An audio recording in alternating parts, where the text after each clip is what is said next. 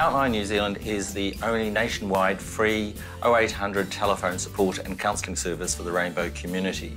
Through Auckland Council's Rainbow Door initiative, Outline was employed to try and create a campaign that would enable straight people to come out and say how much they support the rainbow community.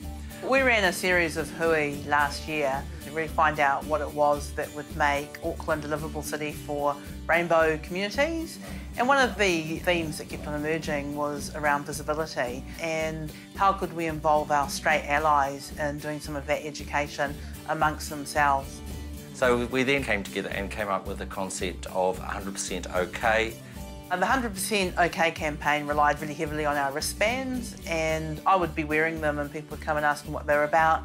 I'd tell them they're about our straight allies standing up and saying we're 100% OK with the rainbow community being who they are 100% of the time, and then I'd invite them to take a wristband.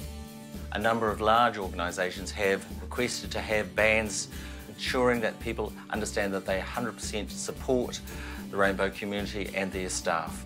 For me, becoming really visible about my own sexual orientation is always a really scary thing.